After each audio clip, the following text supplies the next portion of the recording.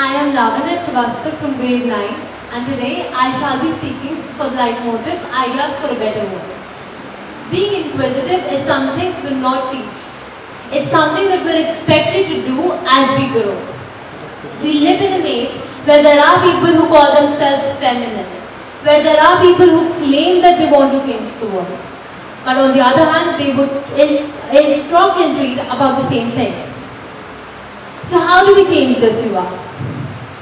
Recently a survey was done for teenagers in which they were asked how they would change the world. Many of them claimed that they would continuously learn and never let their uh, curiosity for life die. And that is seemingly the most simple solution ever. We live in an age where the, our lives are busier than ever. Our hunger for curiosity dies as we grow. And how do we change that? I'll tell you. So changing this mindset is easier said than done. And a teenage boy won't go to his cooking classes because of all the sexist comments thrown at him.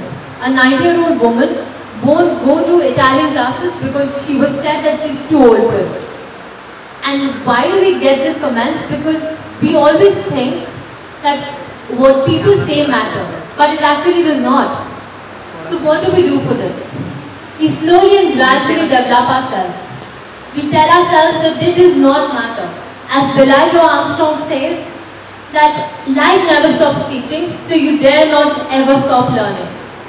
And I would like to say, let's break these rules and, and try to teach ourselves every day and learn as if we're going to live forever and live as if we're going to die tomorrow. Thank you.